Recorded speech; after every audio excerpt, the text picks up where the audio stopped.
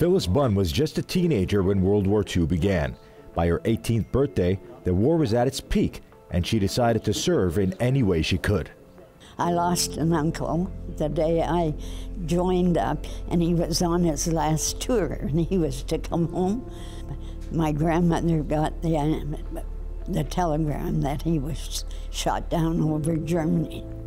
While the battle against the Axis waged on many fronts, Bunn served as a photographer for the Royal Canadian Air Force.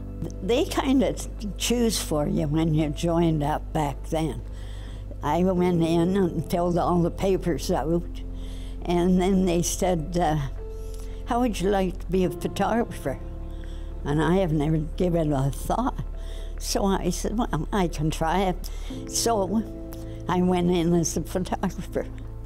Bunn captured ceremonies, landscapes overseas, and was even on board with fighter pilots capturing the action from above.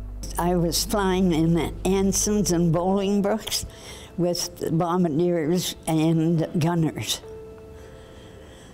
And that was to take their score. Decades later, the Toronto native still has memories that continue to haunt her. We used to go into Port Dover to dance and uh, on Saturday nights. And the two Australian students, they we were dancing with them, and then they had to leave to go on night flying. And I was back in my room at about 1.30 in the morning. I got a call to bring my equipment and go out.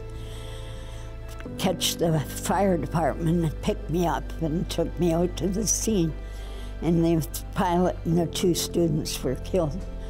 I had to take all that. That I didn't. That made me sick to my stomach. Today, the 93 year old resides in Acton and hopes that history won't repeat itself.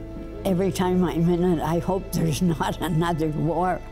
Like it's the young ones, like you was all like yourself. People all killing on all around. I don't like that.